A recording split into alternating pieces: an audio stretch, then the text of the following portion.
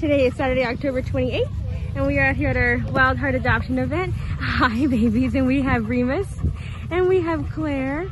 Both of them doing very well out here. Clair sits beautifully. She is such a good dog, very calm. Remus loves to give hugs. He wants to meet you. He thinks everyone's here for him and would love to meet his forever home. If you can help us with Remus or Clair, please let us know.